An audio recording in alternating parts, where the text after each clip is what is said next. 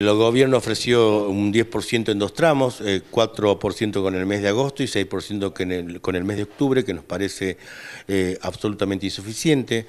Eh, nosotros hemos planteado una contrapropuesta que es el 20% de recomposición salarial más lo que ha determinado la CETERA en el, último Congreso Nacional, que es la solicitud de un bono de 5 mil pesos. Esto pasó un cuarto intermedio hasta el día miércoles, más allá del ofrecimiento y el reconocimiento eh, a la jerarquización de las secretarías docentes eh, con un equivalente a, a seis horas cátedra, que es algo que veníamos pidiendo eh, desde hace bastante tiempo en, las mesas paritarias, sigue siendo insuficiente, digamos, en el contexto global en lo que hace a la recomposición salarial del resto de la docencia.